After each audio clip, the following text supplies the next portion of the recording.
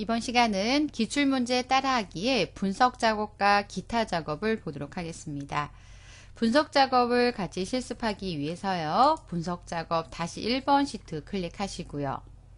첫 번째 문제에서는 시나리오를 작성하는 문제입니다. 어, 분석 작업에서는 부분 접수가 없습니다. 그래서 문제는 좀 쉬울 수 있지만 정확하게 작업을 하셔야 될 것 같고요.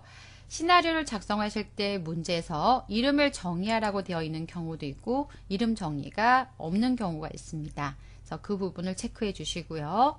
첫 번째 C13세를 선택하시고 이름을 정의하라고 되어 있습니다.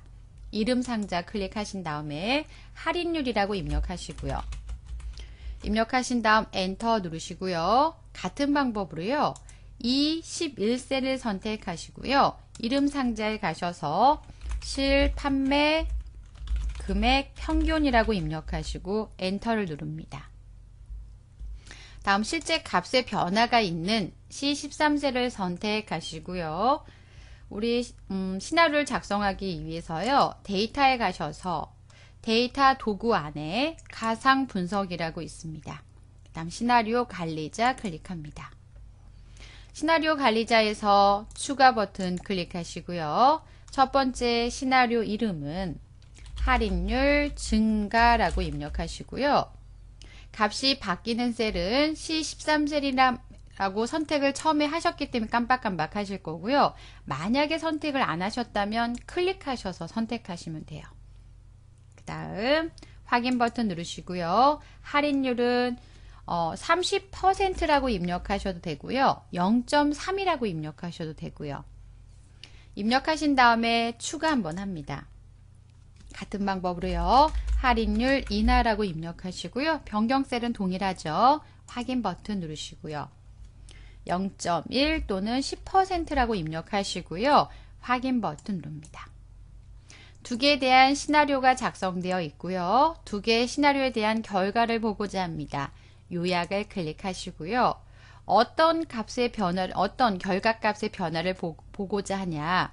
이 11셀에 있는 실 판매 금액의 평균을 구하고자 합니다. 라고 선택하시고요. 확인 버튼 누르시면 현재 작업하는 시트 왼쪽에 시나리오 요약이 추가된 걸 확인할 수가 있습니다.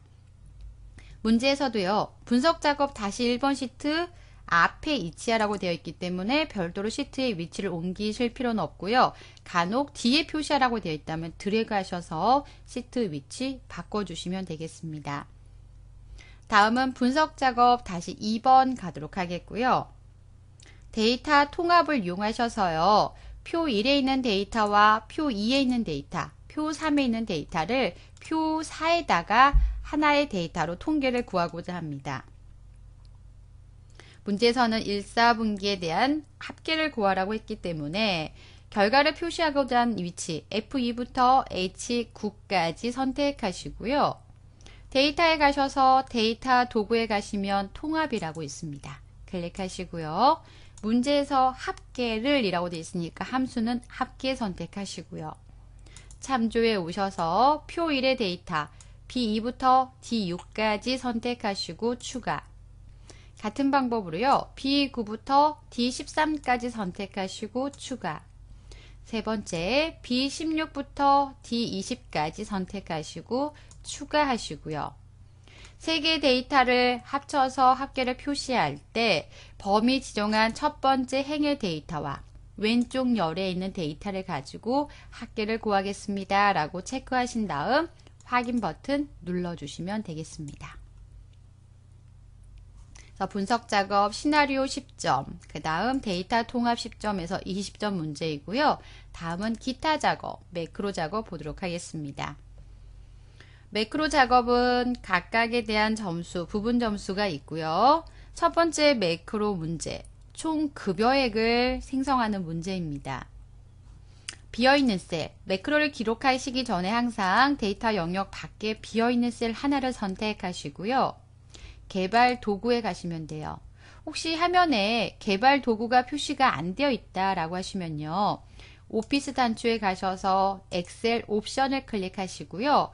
기본 설정에 가셔서 리본 메뉴에 개발 도구 탭 표시가 체크가 되어 있는지 확인하시고 그 다음 작업하시면 되겠습니다. 개발 도구에 가셔서 매크로 기록을 누릅니다. 매크로 이름은 총 급여액이라고 입력하시고요. 확인 버튼 누르겠습니다. 총 급여액을 구해서 표시할 위치가 F4셀입니다. F4셀 마우스로 클릭하시고요. 그 다음 이퀄 기본급 24 곱하기 비율 T4 더하기 다시 한번 기본급을 더합니다. 그리고 나서 엔터 누르시고요. 아래쪽으로 수식을 복사해 주시면 돼요. 수식을 다 복사하셨다면 총 급여액에 대한 값을 구하는 매크로 작업을 끝나셨고요. 개발 도구에 가셔서 기록 중지 누르시면 현재 기록하고 있던 매크로 기록은 종료가 됩니다. 그 다음 두 번째 삼각형의 내용은 현재 기록하셨던 총 급여액을 실행할 수 있는 도형을 하나 만들라고 했습니다. 삽입에 가시면 음, 도형이라고 있고요. 그 다음 십자형은 기본 도형 안에 두 번째 줄의 끝에서 세 번째 보이시면 십자형이라고 보이실 거고요. 클릭하신 다음 위치에 오셔서 H3부터 3, 4, 5 영역으로 드래그합니다. 아, H부터 I까지네요. 그래서 H3부터 I5 영역까지 드래그 하시고요. 그 다음 텍스트는 총 급여액이라고 입력하시고요. 다음 도형의 경계 라인에서 마우스 오른쪽 매크로 지정 가셔서요. 아까 기록하셨던 조금 전에 기록해 놓으셨던 총 급여액을 선택하시고요. 확인 버튼 누르시면 돼요. 총 급여액 값을 지우고요. 도형을 클릭하면 구해지는지 확인해 보시면 되겠죠. 두 번째 매크로 보도록 하겠는데요. 매크로 기록을 하시기 전에 항상 비어있는 셀 선택하시고요. 개발 도구에 가셔서 매크로 기록을 갑니다. 매크로 이름에다가 서식이라고 입력하시고요. 확인 버튼 누릅니다. A3부터 F3까지만 범위를 지정하신 다음에 홈 탭에 가셔서 글꼴 색깔은 파랑입니다. 파랑 색깔 선택하시고요. 배경 색깔 채우기 색에 가셔서 노랑을 선택합니다. 네, 서식 작업을 다 하셨고요. 개발 도구 탭에 오셔서 기록 중지 눌러서 매크로 기록은 종료합니다. 다음은 같은 방법으로요. 삽입에 가셔서 도형 하나를 만들고자 합니다. 삽입에 도형 가셔서 사각형에 보시면 두 번째 모서리가 둥근 직사각형 있습니다. 선택하시고요. H7 영역에 해당한 위치를 시작점으로 해서요. I9까지 드래그합니다. 그 다음 텍스트를 서식이라고 입력하시고요. 도형의 경계 라인에서 마우스 오른쪽 매크로 지정 그 다음 서식을 선택하시고 확인 버튼 누르시면 되겠습니다. 그래서 매크로 두 문제 살펴보셨고요. 다음은 기타 작업 두 번째 차트 문제 보도록 하겠습니다. 차트 문제는 간혹 범위를 지정해서 직접 차트를 만드는 문제가 출제가 되기도 하고요. 또는 작성된 차트에 대해서 서식을 지정하는 문제가 출제가 되기도 합니다. 현재는 이제 서식을 지정하는 문제고요.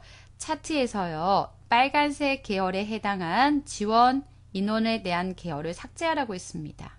그럼 빨간색 막대 선택하시고요. 키보드에 딜리트 누르시면 삭제할 수 있으실 거고요.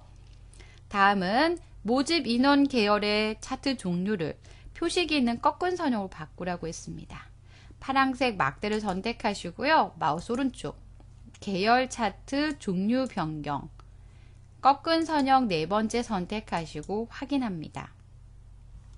꺾은 선형을 선택하시고 마우스 오른쪽 데이터 계열 서식하셔서요. 문제에서 보조축으로 표시하라고 했습니다. 계열 옵션에서 보조축 선택하시고 닫기. 다음 세 번째는 차트 제목을 입력하라고 했습니다. 차트를 선택하시고요. 위쪽에 가시면 차트 도구가 있고요. 레이아웃이 있습니다. 레이블에 가시면 차트 제목이 있고요. 차트 위를 선택합니다. 그 다음 차트 제목을 입력하기 위해서 교육대 정시 지원 현황이라고 입력합니다. 그 다음 제목을 선택하시고 마우스 오른쪽 버튼 누르셔서요. 글꼴, 굴림체로 바꿉니다. 굴림체 찾으시고요. 그 다음 크기는 16입니다. 글꼴 크기 16 선택하시고요. 글꼴 스타일 굵게 기본적으로 되어 있습니다. 그래서 굵게 되어 있는지 확인만 해주시면 될 것 같고요.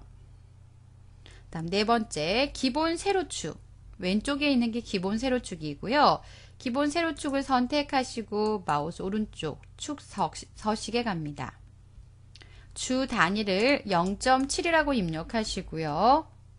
그 다음 네 닫기 버튼 누르시고요.